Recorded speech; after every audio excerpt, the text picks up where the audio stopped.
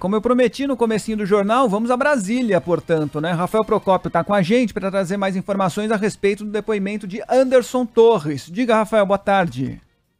Boa tarde, Fábio. Boa tarde, Adriana. Boa tarde a todos que nos acompanham. Seguimos aqui em frente à sede da Polícia Federal, justamente esperando aí, porque já há uma movimentação. Agora há pouco, há cerca de 10 minutos, chegaram os batedores da Polícia Militar do Distrito Federal e agora há pouco chegaram as viaturas já para levar de volta ao complexo, ao local, ao batalhão onde Anderson Torres está preso desde o dia 14 de janeiro. Lembrando que esse depoimento que ele está prestando já está bem agora no finalzinho. Esse depoimento não é relativo ao que fez ele ser preso, que no caso, as investigações investigações dos atos criminosos do dia 8 de janeiro. Essa nova, esse novo depoimento é relativo às investigações que recentemente a gente acompanhou da PRF, do Ministério da Justiça, sobre as questões envolvendo o segundo turno das eleições no ano passado, onde a PRF acabou descobrindo aí um índice muito alto, um tanto quanto estranho, segundo a própria corporação, de operações de blitz realizadas é, principalmente na região nordeste do Brasil, onde o então candidato Luiz Inácio Lula da Silva era o preferido ali nas intenções de votos. Só na região Nordeste, que não é a mais populosa do Brasil,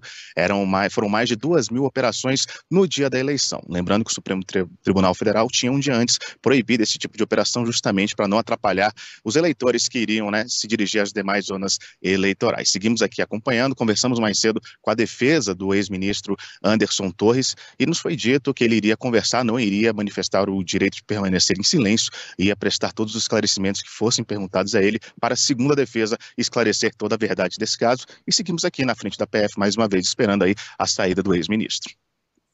Obrigada. Qualquer novidade, aciona a gente aqui. Pode deixar.